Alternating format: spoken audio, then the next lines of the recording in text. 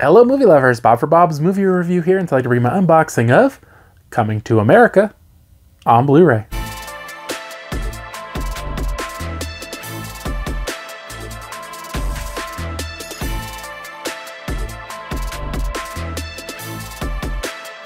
This one will be available for purchase March 8th, 2022, and was sent to me for review by Paramount. Coming to America does include Blu ray.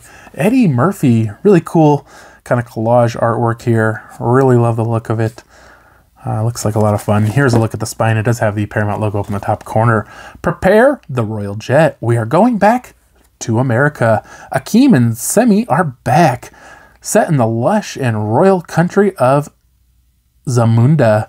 Newly crowned King Akeem and his trusted confidant Semmi embark on an all new hilarious adventure that has them traversing the globe from their great African nation to the borough of Queens, New York, where it all began, returning to their original roles in the long awaited sequel are James Earl Jones, John Amos, Louie Anderson, and Shari Headley, alongside new characters from Wesley Snipes, Tracy Morgan, and Leslie Jones.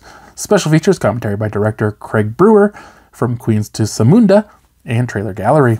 This one's rated PG 13 for crude and sexual content, language, and drug content. It has a runtime of 108 minutes. It does include 5.1 DTS HD Master Audio, French 5.1 Dolby Digital, Spanish 5.1 Dolby Digital, English audio description, and subtitles of English, English SDH, French, and Spanish.